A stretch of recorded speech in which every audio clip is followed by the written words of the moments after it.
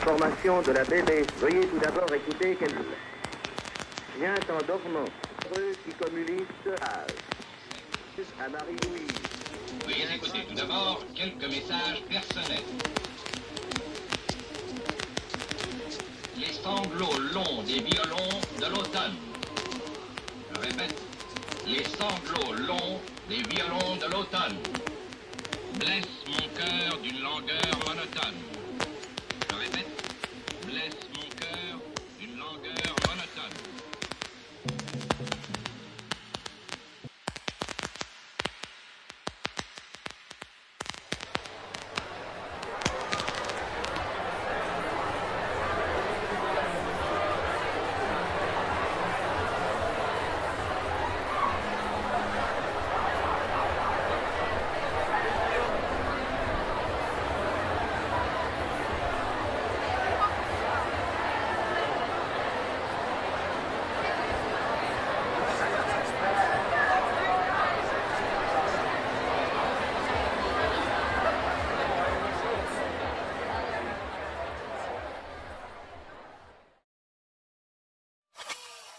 Étienne Chouard, bonjour.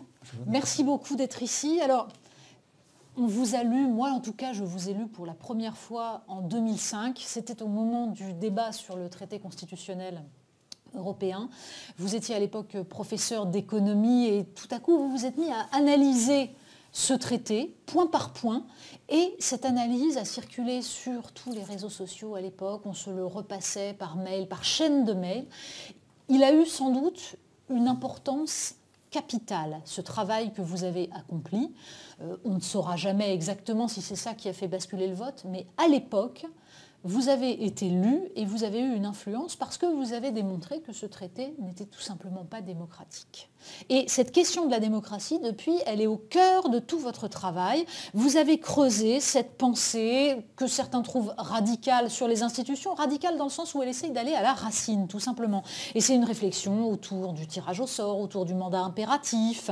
Alors, vous êtes aujourd'hui également, si je ne me trompe, proche de certains mouvements comme Alternativa, comme euh, les Colibris, ou en tout cas vous l'avez été. Vous êtes passé par ce genre de choses, c'est-à-dire des gens qui essayent de repenser euh, autrement le système. On va reparler un petit peu de tout ça, mais commençons par le fond. Le fond qui est la question du procès que vous dressez contre les élections. Vous avez publié ce petit livre aux éditions, alors c'est édité par le site La Relève et La Peste, Nous ne sommes pas en démocratie. Et question première, expliquez-nous pourquoi nous ne sommes pas en démocratie. Ben, c'est assez simple, hein. la démocratie c'est un régime politique dans lequel le peuple a du pouvoir, le démos a du kratos. Or nous vivons dans un régime dans lequel le démos n'a pas de kratos. Et nous sommes conduits tous les cinq ans, et en fait maintenant tous les ans, il y a une élection, nous sommes conduits à désigner des maîtres qui décident tout à notre place. Et nous les choisissons parmi des gens que nous n'avons pas choisis. Euh, et nous appelons ça démocratie alors que c'est son strict contraire, nous n'avons pas de pouvoir. Euh, ça n'est pas par accident, c'est pensé comme ça depuis le début.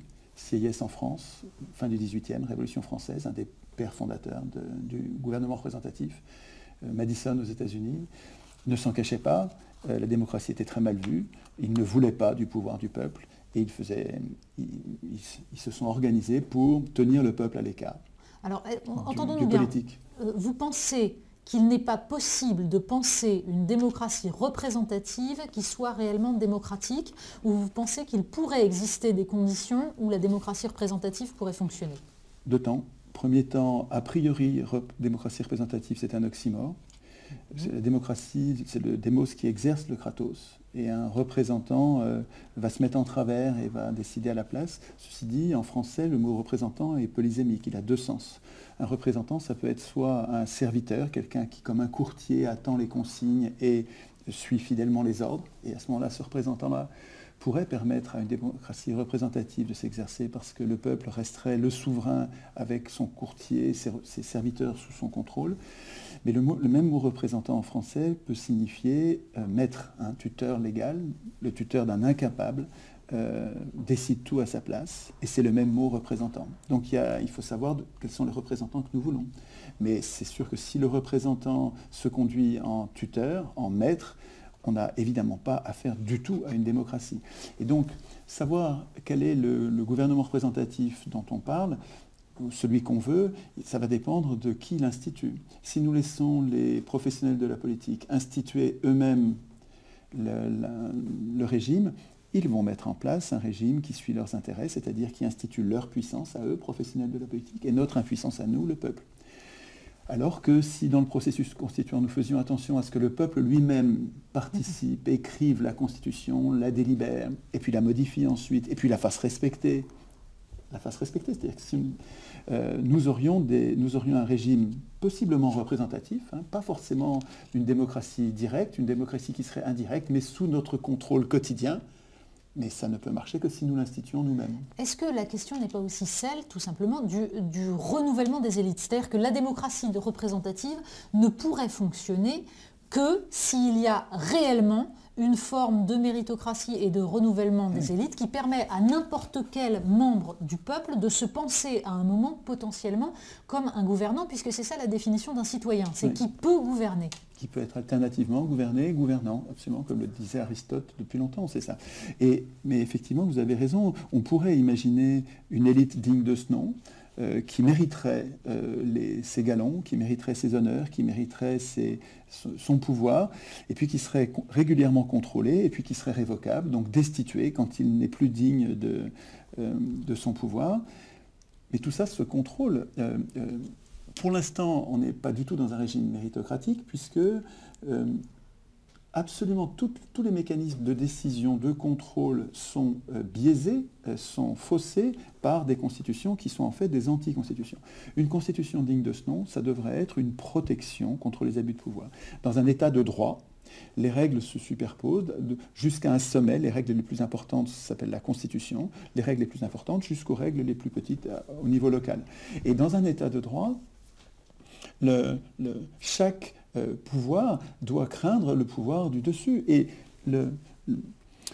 les gens qui vont être capables d'écrire le droit, nous en avons besoin parce que nous, sommes trop nombreux pour euh, participer tous à la l'élaboration de ce droit. Donc nous avons besoin d'acteurs politiques qui décident qu'est-ce qui est le droit.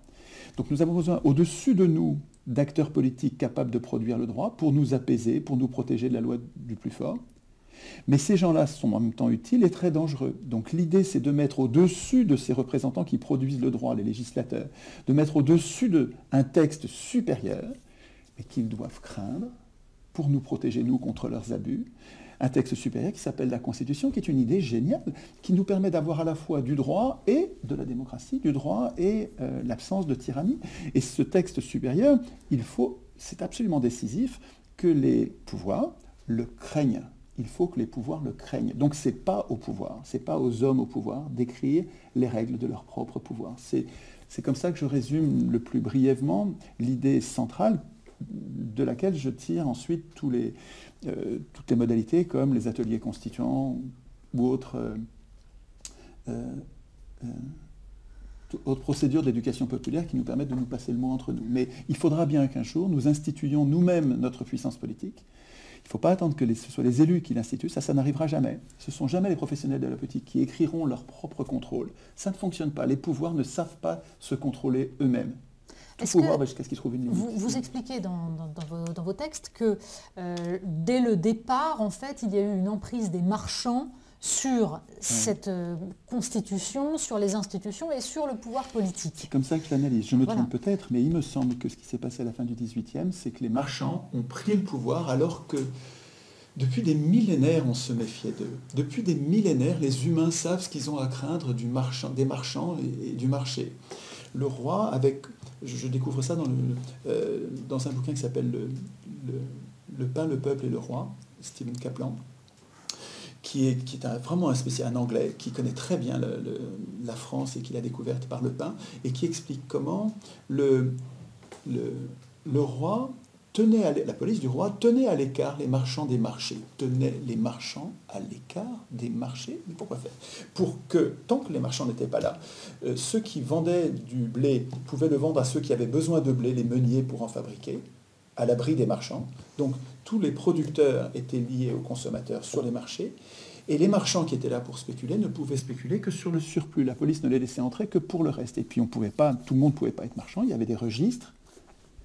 Et donc on se méfiait des marchands. Donc les marchands sont devenus puissants, mais ils n'avaient pas le pouvoir politique. Et ce qu'ils ont fait au XVIIIe siècle, c'est qu'ils se sont révoltés, ils ont agité le peuple avant de s'en servir, disait Talleyrand, ils se sont révoltés pour obtenir le pouvoir politique. Ce qu'ils n'avaient jamais eu, ils n'avaient jamais eu en même temps le pouvoir économique et le pouvoir politique. Et ils ont créé je, représente ça quelquefois comme une courroie de transmission entre leur pouvoir économique et le pouvoir politique qu'ils n'avaient pas. Et ce qui s'est passé donc depuis 200 ans, la Révolution française et Révolution américaine, Révolution anglaise d'ailleurs euh, un siècle avant, ce qui s'est passé, c'est que cette euh, coordination, cette synchronisation entre le pouvoir économique et le pouvoir politique leur a permis d'écrire les lois. Mais ça, ça donne pour moi, ça donne le capitalisme. Le capitalisme, pour moi, ça me distingue des marxistes. Les marxistes disent euh, le capitalisme, c'est de l'économie. Or, moi, je pense que, bien sûr que les, pulsions marchandes existaient avant, euh, ils avaient envie du pouvoir, mais ils ne l'avaient pas. Mais l'explosion du capitalisme, elle, tient, elle vient du moment où les marchands se sont mis à pouvoir écrire le droit. Parce que quand ils ont écrit les constitutions, ils ont mis en place l'élection. Or, l'élection donne le pouvoir aux riches. C'est le procès que je fais à l'élection, c'est que je trouve que l'élection le faux suffrage universel, euh, consiste à, donne le pouvoir aux riches. Et depuis que les riches ont le pouvoir depuis 200 ans, ça donne le capitalisme avec la responsabilité limitée, la personnalité morale, le pouvoir des actionnaires, les, travailleurs ravalés au rang dégradant de, machines. Tout, ça, ça vient du droit. Mm, mm. Notre impuissance, elle est, juridique. On peut aussi vous dire que depuis deux siècles, il y a quand même eu des périodes où justement le politique reprenait le pas, d'ailleurs pour des tas de mm. raisons différentes. Par exemple, dans toute la deuxième moitié du XXe siècle, il y a un moment qui est un moment où le capitalisme, sans doute parce qu'il a peur du communisme et de la, de la pression que fait peser le communisme, délègue en fait et accepte et concède énormément. Mmh. Et il y a une régulation qui se met en place, même si elle est imparfaite, mais en tout cas, il y a une espèce d'équilibre de régulation. La dérégulation, elle intervient essentiellement à la fin des années 70 et dans les années 80, 90 avec Bill Clinton, etc. Voilà. Mais donc il y, a eu, des moments où on a pu lutter contre ça. Nous avons résisté, bien sûr. nos, parents, nos grands-parents ont ardemment résisté et vaillamment résisté contre la loi des marchands qui était le capitalisme et qui avait été rendue possible par les institutions. Mais nous avons toujours résisté, Natacha, sur les conséquences. Alors vaillamment, et on est tellement nombreux et on y met tellement d'énergie qu'on arrive à obtenir des progrès. Mais des progrès, regardez ce que fait Macron, regardez ce que font les, néolibéraux depuis 30 euh, ans, 40 ans.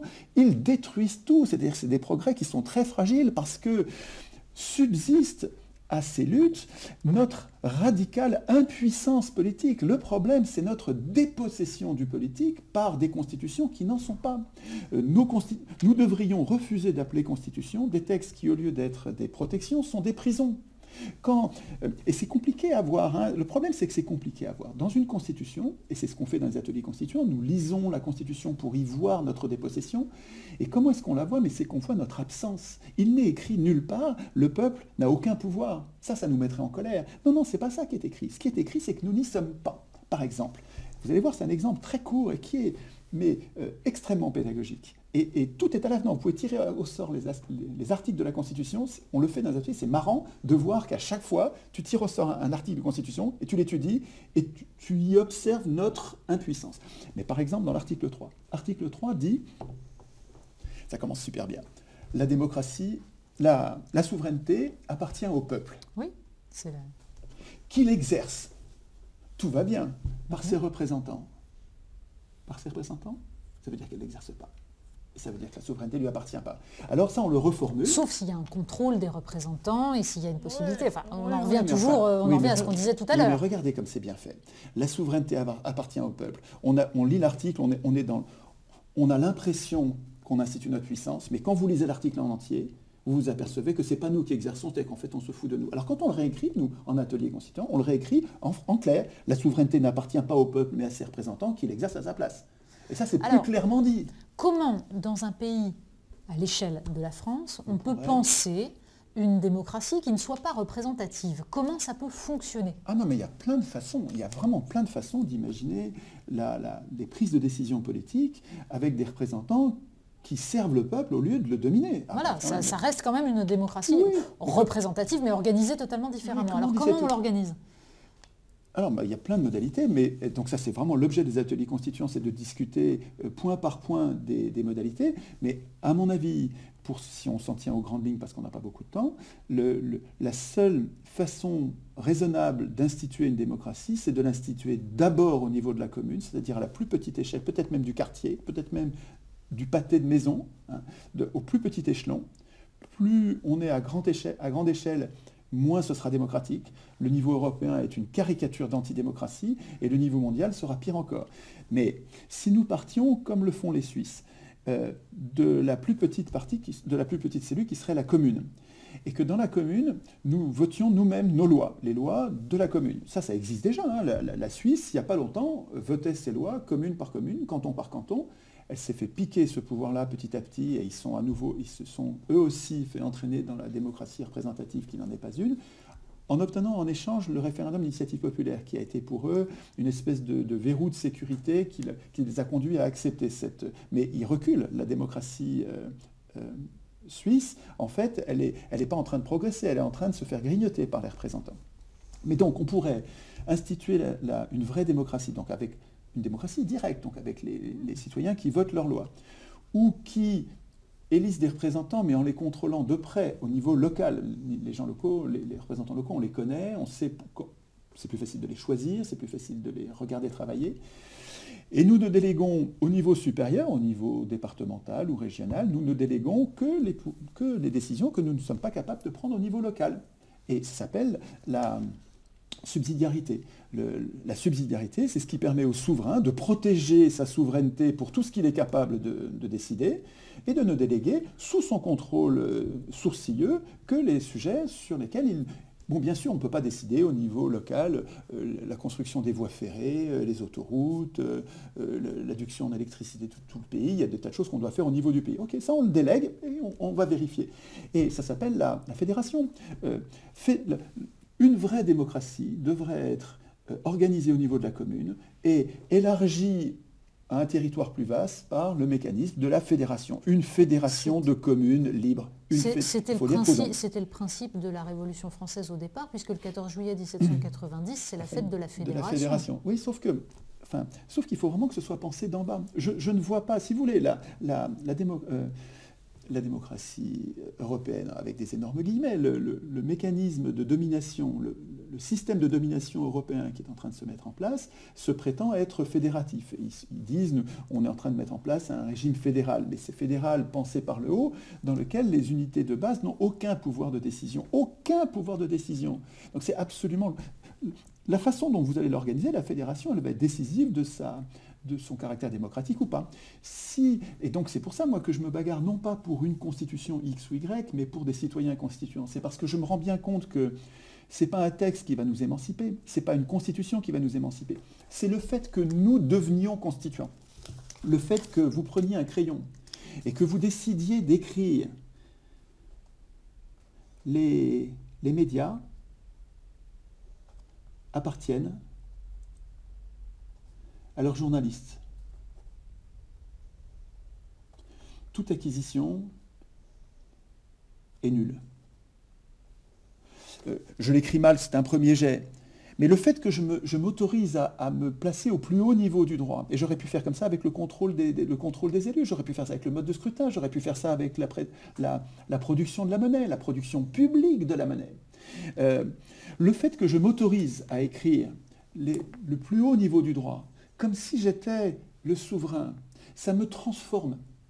Et cette transformation intérieure, elle fait de moi, qui n'était qu'un électeur, qui était un enfant, donc quelqu'un d'hétéronome, quelqu'un qui subit le droit écrit par quelqu'un d'autre, ça me transforme en citoyen autonome qui produit lui-même le droit auquel il consent à obéir. Et si vous voulez, je, sens que la constitution de, 50, de 36, la constitution de Staline, était une bonne constitution et elle, recouvrait un pouvoir totalitaire épouvantable. Donc je sais bien qu'une constitution ne réglera pas le problème. Mais par contre, ce que je fais dans les ateliers constituants, ce que j'invite à faire mes congénères humains, et sans préjuger de ce qu'ils vont décider. C'est pas moi, je suis évidemment, mais ça ne m'effleure même pas, je ne suis absolument pas légitime pour dire ça devra se passer comme ci, comme ça. Mais je dis juste, c'est à nous de nous en occuper. C'est à nous de changer nos sujets de conversation, d'arrêter de parler des sujets législatifs sur lesquels on va s'empailler, on va s'étriper, on va pas être d'accord, mais on, est, se on se dispute trop tôt. Il faut que nous que nous fassions corps avant, il faut que nous nous fraternisions. Enfin, fraterniser, je n'ai pas besoin qu'on fraternise. Il faut que nous tombions d'accord avant au niveau constituant. C'est beaucoup plus facile de tomber d'accord au niveau constituant pour instituer notre puissance. Et une fois qu'on aura institué notre puissance, on se disputera sur les différents sujets législatifs. Voilà, mais on, on, est amené du coup à reconnaître comme légitime le choix de la majorité, puisqu'on sait qu'on oui, a oui, mais loi par loi. Mais si vous voulez, c'est pas du tout pareil. Si, si, je suis minoritaire sur une loi, et c'est bien sûr que ça va arriver, un démocrate, il est évidemment prêt à perdre sur un sujet ou sur un autre si la majorité décide autrement. Mais quand on décide loi par loi, on ne va jamais être minoritaire sur tout. On va jamais être majoritaire sur tout. On va perdre sur certaines lois, on va gagner sur certaines lois. Qu'est-ce que vous répondez à ceux qui vous expliquent, parce que c'est évidemment l'argument principal qui est avancé aujourd'hui, mais de toute façon, les sujets doivent se décider à l'échelon supérieur. D'ailleurs, maintenant, le poncif, c'est de dire non, même pas seulement, euh, ça ne peut pas se décider au niveau communal, ça doit se décider au niveau national. Non, l'échelon national n'existe déjà plus. Tout ça, de toute façon, ce, ce sont des problèmes globalisés. Il faut une gouvernance mondiale, avec une gouvernance mondiale qui est celle des experts, parce que tout ça dépasse de beaucoup les capacités de compréhension des citoyens. C'est complètement cohérent du point de vue des oligarques. Les voleurs de pouvoir ont intérêt à hisser les prises de décision le plus haut possible, à, une échelle géographique la plus grande possible, pour nous tenir à l'écart. L'objectif, c'est de tenir le peuple à l'écart. Donc, ils sont, c'est de bonne guerre, c'est leur logique d'oligarque de souhaiter et de faire la promotion de tous les systèmes de décision d'experts au plus haut niveau et au plus haut niveau géographique. Mais nous, c'est notre responsabilité de citoyens euh, vigilants, euh, euh, méfiants. La Constitution, c'est un acte de méfiance, disait Benjamin Constant. J'ai des tas de choses à reprocher à Benjamin Constant, mais c'est un père fondateur du gouvernement représentatif. Et pour lui, la Constitution est un acte de défiance. Et donc, mais il faut, des, il, faut des, il faut des soldats derrière, il faut des, des citoyens euh, formés, et formés dans les ateliers constituants, formés pour comprendre ce qu'est la Constitution et, son importance vitale dans, la, décision publique. Si vous voulez, on, parlait tout à l'heure de la délibération nécessaire pour fixer le bien commun. Le bien commun sera toujours le résultat d'une délibération. Nous allons avoir entre nous des conflits. On ne va pas être d'accord. Et la, démocratie, c'est la mise en scène de ces conflits. Et cette délibération va permettre de choisir un moindre mal, euh, loi par loi. Tout ça ne sera possible que si nous avons d'abord institué notre puissance. Or, pour l'instant, nous nous débattons dans une prison, littéralement une prison. Nous sommes comme ficelés au mur de notre... Enfin, enchaînés au mur de notre prison, et nous sommes en train de protester, de nous disputer sur ce qu'on devrait faire si on était en dehors de la prison. Sauf que nous sommes. Euh, c'est même, en, fait, c'est pire que ça, Natacha. Nous n'avons pas de chaîne. Nous n'avons pas de chaîne. Ça, ça, repose sur le consentement. Mais oui, c'est nous, sont grands parce que nous sommes C'est en ça que c'est un totalitarisme soft. Mm. C'est qu'il repose sur le consentement, oui, sur l'acceptation. Et il n'est possible que parce que nous démissionnons. Mais l'image qu'il faudrait prendre, elle est différente des chaînes. Nous sommes dans une, prison dans laquelle d'autres décident tout à notre place. Il y a une grande porte qui nous empêche d'accéder au pouvoir. Cette porte n'est pas fermée à clé. Il suffirait qu'au lieu de nous disputer sur qu'est-ce qu'on va faire quand on sera sorti de la prison, ça c'est l'essentiel de nos disputes aujourd'hui. Nous nous disputons sur qu'est-ce qu'on devrait faire sur le plan législatif. Et personne ne s'occupe d'aller pousser cette porte. Si j'y vais tout seul, sur la porte elle est trop lourde, je n'arrive pas à la pousser. Si vous venez avec moi, ça ne suffit pas. Mais si on s'y met tous, la porte en la poussant, on l'ouvre. On l'ouvre simplement parce qu'on s'en occupe, parce qu'on s'occupe de la Constitution. Il suffirait que nous, que nous changions nos sujets de conversation et qu'au lieu de parler des couillonnades qu'on nous assène à la télé, euh, si nous parlions de Constitution, c'est-à-dire de l'institution de notre pouvoir, de, du mode de désignation des acteurs, du contrôle des acteurs, des révisions de la Constitution, du fait qu'aucun traité, évidemment, ne devrait être supérieur à la Constitution, que nous devrions écrire. Ça, ça a commencé depuis 64 les juges européens décident que le droit européen est supérieur au droit constitutionnel sans aucun mandat électif. Même les juristes appellent ça un putsch juridique. Oui, mais... Et depuis, on s'est laissé faire. Mais oui, mais pourquoi peuvent-ils le faire? C'est parce que, nous, parce que nous les laissons faire, parce que tout le monde s'en fout. Je veux dire, le problème, c'est que... Euh, les ateliers constituants, c'est de l'éducation populaire. Euh, jamais les élus ne l'organiseront. Jamais les, les, pouvoirs en place, les professionnels de la politique, n'organiseront cette éducation populaire. C'est à nous de le faire entre nous. Et quand on, pourrait, regarder, quand on écrit aucun traité, aucun traité ne peut être contraire à la Constitution. Ou bien on dit euh, tout, traité contraire à la Constitution est nul, nul, voilà, nul. Ça s'écrit, ça s'écrit, ça s'écrit. Et là, vous venez de garantir, vous venez de garantir, mais parce que vous l'avez écrit vous, vous venez de garantir qu'aucun représentant ne pourra vous trahir comme nos représentants nous trahissent depuis le début de la, construction européenne, parce que c'est littéralement une trahison du bien commun. Ces gens-là sont en train de, c'est même pas de vendre, enfin si, ils la vendent parce qu'ils s'enrichissent, ils vivent bien, ils vivent très confortablement, mais, même ils la donnent parce que pour ceux qui l'achètent, c'est peanuts. Hein. Euh, euh, ils sont en train de vendre la souveraineté qui ne leur appartient pas. Les élus ne sont pas propriétaires de la souveraineté. Ils ne peuvent pas la brader. Ils ne sont pas légitimes. Ils sont comme des locataires qui vendraient l'appartement. C'est tout le discours de Philippe Séguin devant l'Assemblée nationale en 1992 sur le traité de Maastricht.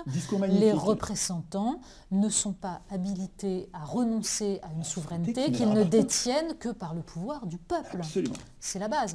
on a d'autres choses à, reprocher à, Séguin. J'aime beaucoup, je, je raffole. Ce discours est une merveille. Euh, c'est en même temps lui qui nous a organisé le début du sabordage des retraites. Hein. oui, oui, bien, sûr, il y a des choses. Euh, voilà, nul n'est parfait et en effet, on peut contester. Simplement, dans cet édifice qui est le vôtre, dans cet édifice institutionnel, quelle place pour le, pour le tirage au sort? Parce que c'est une des dimensions importantes pour justement faire exploser ce système de confiscation par les représentants ou par les élites. Comment, comment vous l'envisagez et pourquoi ça dynamite le système? Alors, c'est difficile d'écrire ça très vite parce que dans les premiers temps, quand on, découvre le tirage au sort, on est, choqué, on est, on est révulsé par cette idée. On a tellement été habitué à l'idée que démocratie égale élection égale élection égale démocratie, que l'idée du tirage au sort nous paraît incongrue et même dangereuse au premier abord. Et pourtant, dans les institutions d'Athènes, le tirage au sort jouait un rôle essentiel. Alors évidemment, on peut répondre que c'est plus petit comme échelle. C'est exactement le même niveau que la commune. Hein. c'est exactement le même niveau. Alors il y a plein d'objections au tirage au sort et aucune ne résiste à l'analyse. Il faudrait peut-être faire une autre émission dans laquelle on étudie justement ces objections une à une et leur réfutation avec quelqu'un qui défendrait l'élection et moi, ça m'intéresse. C'est vraiment une controverse. On pourrait prendre rendez-vous, si, vous voulez, sur ce, sujet-là, parce que vraiment, je ne suis pas sûr d'avoir raison. Et je sais bien que c'est dans la controverse qu'on va savoir quels, sont les arguments forts. Mais on va organiser un débat sur le tirage au sort avec des pour et des contre, parce que c'est un précisément sur ce petit bouquin. Parce que dans ce petit bouquin, ce que j'ai essayé de faire, mais c'est un chantier, c'est un début, ce que j'ai essayé de faire, c'est le, le procès de l'élection. Et dans tous les reproches que je fais à l'élection, il y en a une dizaine, dans tous ces reproches, j'observe comme en miroir que le tirage au sort ne présente pas ces problèmes. Je peux, je peux juste les citer, et puis vous, vous irez mhm. travailler sur Internet, et puis on en reparlera. Mais euh, du point de vue des gouvernés, l'élection nous infantilise. L'élection nous infantilise. Elle nous, elle nous, elle nous tient à l'écart du pouvoir. L'élection, en désignant des maîtres, nous tient à l'écart du pouvoir. L'élection nous infantilise et donc elle nous, décourage de nous donner du mal pour le bien commun, puisque nous n'avons pas de puissance de changer les choses nous n'imaginons plus, nous, n'essayons plus de changer les choses. C'est pour ça que vous avez des gens qui font... Apparemment, vous diriez que c'est des légumes politiquement, ils ont des discussions euh, à la con, vous les regardez au, bistrot, mais on se dit, mais ces gens-là ne sont pas capables de faire de la politique. Attendez, ça fait des siècles que nous, nous les désincitons à faire de la politique en les tenant à l'écart dans des institutions qui les infantilisent. C'est normal qu'ils soient découragés qu'ils soient comme euh, euh, maintenus en enfance par ces institutions. Donc, du point de vue des gouvernés, l'institution les infantilise, les déresponsabilise et donc les décourage. Donc leur désapprend à faire de la politique. C'est très mauvais l'élection du point de vue des gouvernés dans, mon plaidoyer, je, fais, je, mets en exergue un, texte magnifique de Tocqueville dans La démocratie en Amérique, qui défend mhm. le tirage au sort, mais avec des mots, les, miens ne seraient pas à côté, donc il faut lire Tocqueville sur les jurés tirés au sort, sur cette école de la démocratie que représente le fait de nous sortir de chez nous. Le tirage au sort nous sort de chez nous. tout à coup oblige à prendre ses responsabilités. Et, puis alors il emploie un mot qui serait très malvenu mm. aujourd'hui puisqu'il dit que sa, force a une forme de virilité. Il veut dire tout simplement que ça met dans l'âge adulte, mais il confond un peu les deux. Mais, passons, sur cette erreur qui, est malvenue aujourd'hui et qui est mal jugée. En tout cas, ça, implique une responsabilité. Euh, les, mots de Tocqueville pour défendre le tirage au sort sont, remarquables, je vous, conseille de les lire. Donc du point de vue des gouvernés, le tirage au sort, en, tirant les gens en dehors de chez eux et en, leur en les mettant dans un, dans un lieu où d'autres de leurs semblables euh, sont en train de discuter du bien commun, euh, donnent l'exemple, voient l'exemple d'une discussion autour du bien commun et sont comme hissés au-dessus de leurs intérêts personnels pour s'occuper du bien commun. C'est magique, la description est magique. Ça, c'est du point de vue des gouvernés. Mais du point de vue des gouvernants, l'élection produit euh, des résultats catastrophiques. L'élection, on dirait qu'elle désigne les pires on dirait que l'élection choisit parmi nous les pires pour décider du bien commun. Parce que ça choisit ceux qui désirent le pouvoir. Qui désirent le Or, pouvoir. le problème, c'est pas de trouver les, ceux qui désirent le pouvoir, c'est de trouver ceux qui sont aptes à exercer un pouvoir. Qui comprennent le mieux le bien commun, qui sont les plus honnêtes, les plus dévoués, les plus désintéressés, absolument. Les, qualités pour accéder au pouvoir sont pas du tout les mêmes que celles en fait, qui sont nécessaires il faudrait pouvoir choisir ceux qui ne veulent surtout pas être élus. Exactement. Là déjà, on commencerait à, quelque, avoir quelque chose d'intéressant. Exactement. Et le, dans la série euh, des, reproches qu'on peut faire à l'élection. Euh, donc l'élection donne le pouvoir à ceux qui le veulent, alors que le tirage au sort, non. L'élection euh, favorise les menteurs. Celui qui ment va être élu. Celui qui ment le mieux va être élu parce qu'il va convaincre les gens. Alors que le tirage au sort, non. Vous pouvez, mentir, pas mentir. Si vous êtes tiré au sort, vous serez tiré au sort. Vous n'êtes pas tiré au sort, vous ne serez pas tiré au sort. Donc le, mensonge, l'élection incite au mensonge. Enfin, c'est quand même pas terrible, ça, comme dans, le bilan, d'avoir une procédure qui incite au mensonge. Le mensonge avant d'être élu pour être élu, puis le mensonge pendant qu'on est élu pour être réélu. Enfin, vraiment. Donc l'élection... Euh, euh, euh, j'ai oublié mon premier argument. L'élection. Euh, Infantilise. Euh, ça, c'était les. elle, nous, elle donne le pouvoir à ceux qui le veulent. Elle. Euh, elle ah, décidément, si j'ai plus. elle, pousse, au mensonge. L'élection fabrique des maîtres parce qu'au-dessus de nous, elle, elle hisse au-dessus de nous des gens qui, parce qu'ils sont désignés, se prennent pour euh, le meilleur, se prennent pour le plus fort. Même quelqu'un de bien, il va se transformer en lui-même par, par, le mécanisme de l'élection, alors que le tirage au sort, non. Le tirage au sort, il n'a pas été désigné comme le meilleur, il a été désigné comme un des nôtres. Si vous voulez, l'élection, elle fabrique des maîtres, alors que le tirage au sort fabrique des serviteurs.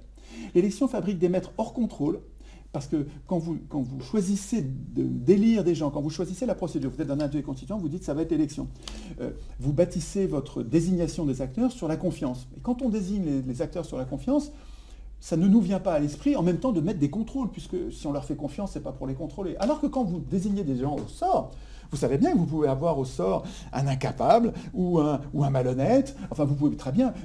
Quand on choisit le tirage au sort, et les Athéniens euh, avaient peur des tirs au sort, mais, bien sûr, et c'est pour ça qu'ils ont prévu, et Montesquieu en soulignait la pertinence, ils ont prévu des institutions complémentaires qui vont avec le tirage au sort et qui engomment les, inconvénients des institutions de contrôle. Donc, quand on écrit le tirage au sort, quand on dit euh, euh, ceux qui votent les lois sont tirés au sort, ou ceux qui préparent les lois sont tirés au sort, en même temps que vous écrivez ça, vous avez envie d'écrire la suite qui est le contrôle, parce que ça va avec, si vous voulez, le contrôle. Alors, l'élection produit des maîtres hors contrôle, alors que le tirage au sort produit des serviteurs contrôlés.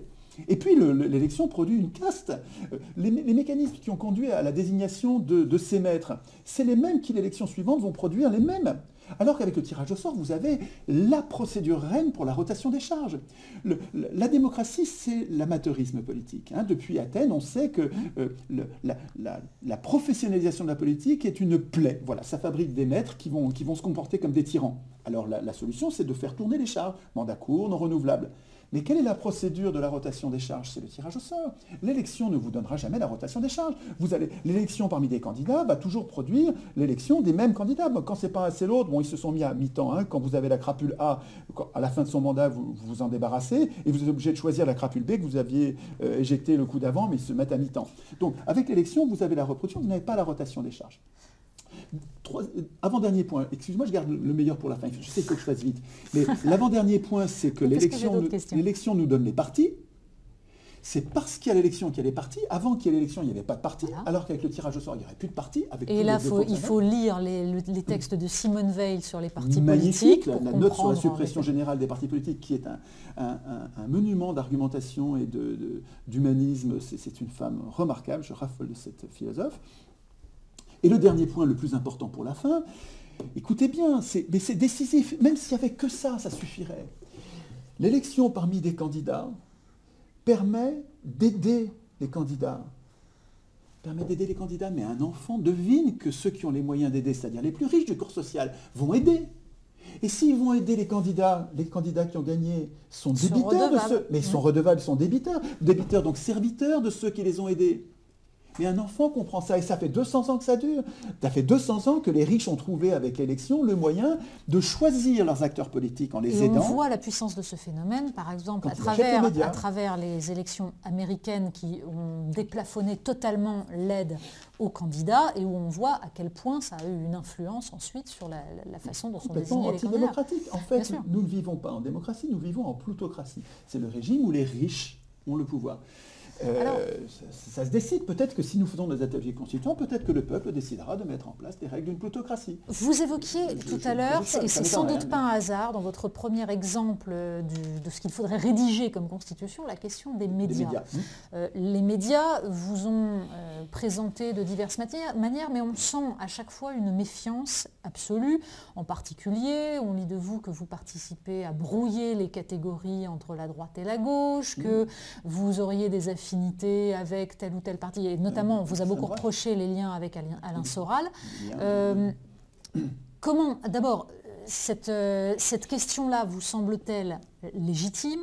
Quels sont ces liens et pourquoi? Et est-ce que vous considérez que vous brouillez des catégories ou est-ce que vous considérez que ce sont ces catégories qui sont fausses? Ah mais si, s'il y a des catégories qui sont fausses, je les brouille parce que je les conteste, effectivement. Par exemple, quand je dis euh, qu'un parti de gauche comme le Parti socialiste, de gauche entre guillemets, euh, a les politiques les plus, les plus dures, les plus à droite que nous ayons jamais eues, euh, euh, c'est bien les catégories qui sont les catégories gauche-droite qui sont brouillées par des menteurs qui se prétendent de gauche, mais, mais, Thiers le faisait déjà. Thiers, le criminel de la commune, et qui d'ailleurs avant la commune tirait sur les mineurs en grève, hein, faisait assassiner des quartiers entiers hein, en leur faisant tirer dessus. Donc ce gars-là avait créé un parti qui s'appelait Centre-Gauche. Donc, euh, voilà des catégories qui sont brouillées, voilà une confusion qui est, qui est mise en place pour, pour gagner les élections. Et quand je la conteste, je ne dis pas que gauche-droite c'est pareil, évidemment. Moi je, tiens à, la séparation entre gauche et droite. Simplement, une gauche digne de ce nom, ça défend les intérêts du peuple et ça ne défend pas euh, son contraire. Et donc, euh, quand je conteste aux hommes au pouvoir la, la, la la domination qui est la leur, je, sais que j'ai besoin de tous les citoyens pour résister à ces abus de pouvoir. Tous les citoyens, et je ne vais pas faire le tri, qui serais-je pour le faire? Je ne vais pas faire le tri entre ceux qui sont bons, ceux qui sont mauvais. Je pense que nous avons tous intérêt, y compris, les, classes bourgeoises, hein. euh, y compris les policiers, y compris les militaires. Je pense que nous avons, y, compris, y compris, alors c'est ça qui me fait dire, c'est ça qui me fait classer dans les, dans les euh, comment ils appellent ça? Il y en a qui disent que je suis une passerelle avec l'extrême droite, parce que je dis que les enfants qui aujourd'hui, je pense surtout aux jeunes gens, qui se tournent vers l'extrême droite, euh, en fait, ne connaissent pas l'alternative de la démocratie. Eux, pour eux, il y a le choix entre ce qu'ils appellent la démocratie, qui est un régime complètement corrompu, et euh, le communisme, qui ne leur voit pas du tout, ou le fascisme. Alors ils vont vers le fascisme parce que tout le reste leur paraît plus mauvais mais ils ne connaissent pas l'idée de la vraie démocratie. Et moi, je dis que euh, ces gens-là sont des humains comme les autres, qui sont en train de se tromper vers un régime qui est ultra dangereux et qui est détestable, une dictature évidemment. Mais euh, j'ai aucune chance de les convaincre en les traitant de fascistes, de racistes, et je, sais quel autre nom d'oiseau. Le seul moyen que j'ai raisonnable qu'ils changent d'avis, c'est de montrer, de montrer par un échange argumenté que j'ai raison. Alors vous allez me dire, bien sûr, mais si c'est des brutes et qui veulent taper, ouais, d'accord, mais là, il n'y a rien qui, n'y a rien qui, est, qui, fonctionne contre des brutes qui, ne réfléchissent pas. oui, mais disons que tout, langage violent n'aide pas à, justement à faire avancer les choses et à apaiser le débat. Oui, oui, tout à fait. Pour ma part, en tout cas, c'est quelque chose de majeur. On, refuse de parler, oui, absolument, oui, d'accord.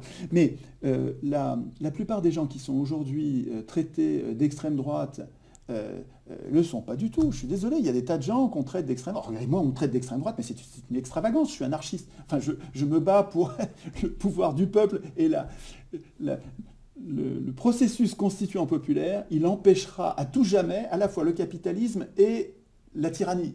Ah, c'est complètement, il n'y a pas plus antifasciste que ça. Donc, si vous voulez, il y a des tas de gens qui sont classés à l'extrême droite et qui n'y sont pas. Pourquoi? Je vais vous dire pourquoi. Il y a une raison. C'est que je conteste, et comme tous les anarchistes, je conteste, et comme tous les démocrates, parce que pour moi anarchiste et démocrate c'est pareil, je conteste le système de domination parlementaire. Je pense que les parlementaires ne sont pas légitimes à décider à notre place. Je pense que le système qui consiste à appeler suffrage universel l'élection de maître est une supercherie, une imposture, une, tricherie, et je, conteste la légitimité du système de domination parlementaire. Je voudrais à la place une démocratie digne de ce nom. Mais je, quand je conteste le système de domination parlementaire, je partage cette contestation avec des gens qui ont un autre projet de société, qui sont les fascistes, qui eux aussi contestent le système de domination parlementaire, eh et qui veulent à la place mettre un système de domination absolue. Ok, nous avons en commun c'est factuel, je ne dis pas c'est bien, c'est mal, nous avons en commun le fait de dénoncer le système de domination parlementaire.